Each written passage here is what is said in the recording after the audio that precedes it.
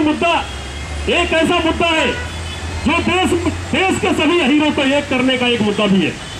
अहीर अगर बनेगी, इससे जो फ़ायदा होगा, वो तो होगा ही। पूरे देश की अहीरों की एक ताकत होगी। एक ताकत देश का प्रधानमंत्री बनाने में होगी अलग अलग प्रदेशों में मुख्यमंत्री बनाने की होगी अलग अलग विधानसभा, लोकसभा में विधायक और सांसद बनाने की होगी। हमारे गरीब भाइयों पे हो रहे अत्याचार के खिलाफ लड़ने की भी एक ताकत होगी। साथियों, इस आंदोलन से मैंने एक चीज़ पाया है। अहिरन कब बनेगी? कैसे बनेगी? ये तो एक अलग मुद्दा है। मुझे जो जो मैंने अभी तक समझ पाया है, माफ़ी चाहता हूँ किसी को बुरा लगे तो। मैंने ये समझ पाया है, पूरे देश से ज़्यादा हीरो को संसद में भेज देने की ज़रूरत है। ये मक्कार धूप लोग हमारी एग्रीमेंट को कभी नहीं बनाएँगे। साथियों आंदोलन करो, सम्मेलन करो, समाज को जागरूक करो, इकट्ठा करो। लाखों की भीड़ की संख्या में रोड पे आओ अपने समाज को जगाओ और पूरे देश के अंदर अपने भाइयों को ज़्यादा ज़्यादा लोकसभा, विधानसभा के अंदर भेज करके, समाज को मज़बूत करके, संसद के अंदर जब तक हमारे समाज के लोग नहीं पहुँचेंगे, जब तक हमारी मांग या अधूरी मानी जाएगी। आज हमारे देश के अंदर तमाम नेता अलग अलग पार्टियों के अंदर अपनी पार्टी को मज़बूत करने का काम कर रहे हैं।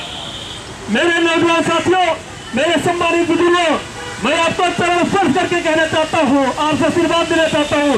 साथियों, हम अपने नेताओं के पास बार बार भाई विजेंद्र के साथ हम लोग मिलने का प्रयास किए। सांसदों से संसद में आवाज़ उठाने का काम करने की बात की। लेकिन साथियों, हमारे समाज के लोग, जो सांसद और विधायक मुख्यमंत्री रहे, जो समाज का नेतृत्व करते हैं, प्रदेश का नेतृत्व करते हैं, देश का नेतृत्व करते हैं, कहीं कहीं अरेंजमेंट मुद्दे पर उनकी। उनकी छुट्टी लग जाती मुँह पर। ये क्या कारण हो सकता है? ये कारण कुछ नहीं है, साथियों। जिस तरीके से ये अन्य बिरादरियों से गुमराह है, अन्य बिरादरियों से गुमराह है, वो सोचते हैं कि ये तो यादव हमारा वोट बैंक है। अरेंजमेंट बनेगी, नहीं बनेगी, ये समाज के लोग हमारे साथ है।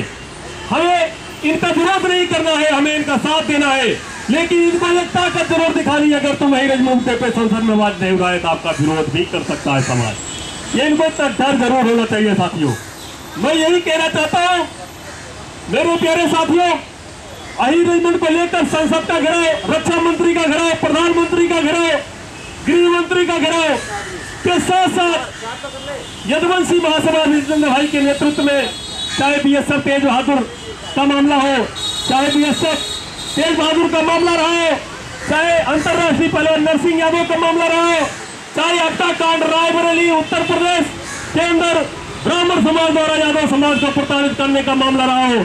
चाहे वो अम्बुज यादव का फर्जी इंकाउंटर हो, चाहे जितेंद्र यादव फर्जी इंकाउंटर नोएडा हो, साथियों, चाहे राज बहादुर यादव आजमगढ़ का गला काटकर हत्या हो, चाहे वो इलाहाबाद राजेश यादव जो बसपा के नेता थे।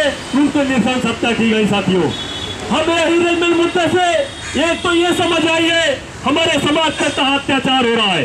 जब हम गाँव गाँव जा रहे हैं, प्रदेश प्रदेश जा रहे हैं तो लोगों के बीच में हमारी पकड़ बन रही है। एक दूसरे भाई हमें जानते हैं, पहचानते हैं। वहाँ पे समस्याओं को लेकर संगठन लड़ता है। साथियों मैं यही कहना चाहता हूँ, हम सब संगठित हो, समाज के मुद्दे को लेकर के अपने भाइयों पर हो रहे अत्याचार के खिलाफ हम संगठित हो, साथियों।